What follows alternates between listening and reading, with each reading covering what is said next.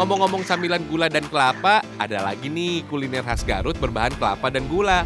Tapi kudapan ini pakai gula merah, Fems. Namanya kue mayit. Tapi kue ini juga punya nama lain kok, yaitu kue sagon.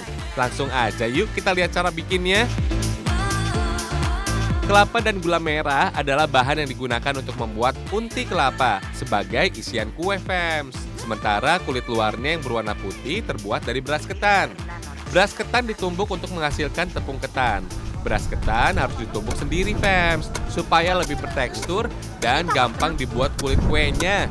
Kalau pakai tepung ketan yang lebih halus, biasanya gagal dibuat karena teksturnya terlalu lembek dan susah digulung. Setelah ditumbuk, saring tepung ketan Fems. Untuk membuat unti, iris-iris gula merah Fems, lalu parut kelapa. Campur kelapa parut, isian gula merah, dan sedikit air. Aduk sampai gula merah mencair dan tercampur rata. Jangan lupa beri daun pandan supaya unti kelapa lebih harum Fems. Kalau gula sudah larut dan tercampur rata, langsung angkat aja deh. Selanjutnya kita buat kulitnya.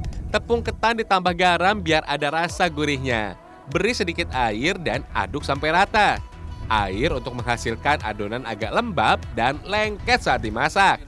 Panaskan wajan, tuangkan setengah sendok adonan, dan ratakan membentuk lingkaran. Langsung angkat deh, Fems. Memasaknya nggak butuh waktu lama, Fems. Cukup beberapa detik aja. Kalau kelamaan, adonan ketan bisa jadi gosong atau kering dan sulit digulung. Selanjutnya beri unti kelapa di bagian atas kulit kue. Terus gulung deh, Fems. Walaupun adonan kulit kelihatan tipis dan rapuh, tapi aman kok pas digulung. Kue mayit ini sangat dikenal di Kadungora, Garut, Fems. Walaupun belum diketahui sejak kapan dikenal, kini keberadaan jajanan pasar ini sudah semakin langka di pasaran. Biasanya para pembuat kue tradisional ini hanya sesuai pesanan aja.